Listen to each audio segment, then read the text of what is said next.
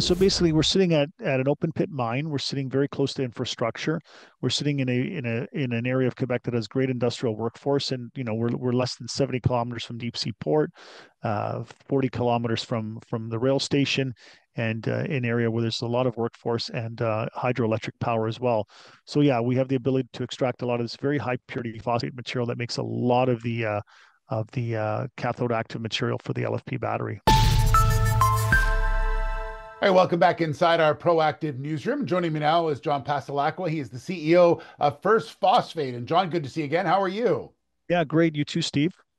So, uh, really interesting news release out from the company, uh, really sort of restating your mission as a company of what you're trying to do with your project, and and and really in helping uh, critical minerals and and batteries and supply chains and all that. So, why don't we take a step back and start from the beginning and remind everyone about the work that First Phosphate is taking on? Yeah, so First Phosphate is dedicated to uh, extracting and purifying high purity igneous phosphate uh, that comes from the Saguenay-Lac-Saint-Jean region of Quebec. And we're dedicated to uh, not only purifying that into phosphoric acid, but also turning it into a, a, cathode active material for LFP batteries, lithium iron phosphate batteries, which are the batteries that are powering, you know, uh, all the electrification around uh, automation of, of, of factories, uh, battery energy storage, AI data centers, and all kinds of small robotics and, and appliances out there. And, and what was key in the um, in the news release today was you talked about the the willingness of the U.S. government to try to create manufacturing uh, more within the United States and, and elsewhere, more mostly in the United States, and the need for those LFP batteries moving forward. Yeah, so if you look at uh, you know the, the new administration in the U.S. is uh, sort of turning towards you know wanting to onshore uh, very rapidly and using tariffs and all kinds of you know um, economic tools to do it, onshoring manufacturing into North America.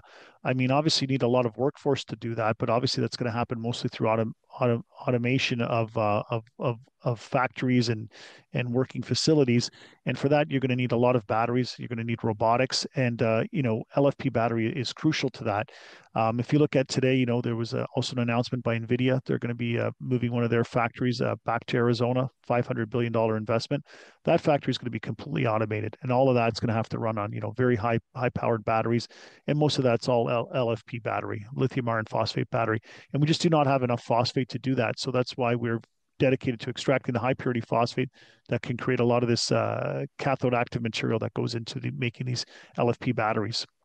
And what's interesting about first phosphate is is the type of, of, of area that you're in and the type of phosphate that you're talking about because you make it very easy to to uh, extract that from the ground.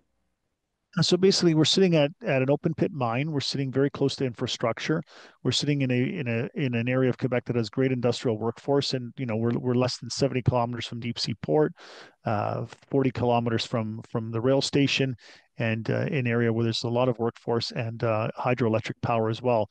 So yeah, we have the ability to extract a lot of this very high purity phosphate material that makes a lot of the uh, of the uh, cathode active material for the LFP battery.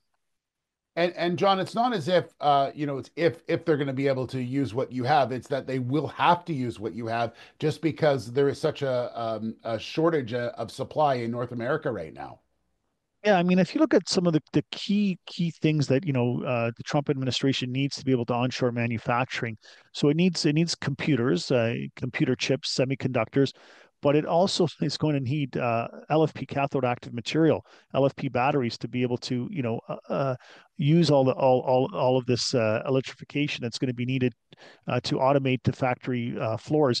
I mean, the mistake that a lot of people are making, they're thinking that under Trump administration, electrification is going to be less, but in fact, electrification is going to be even more.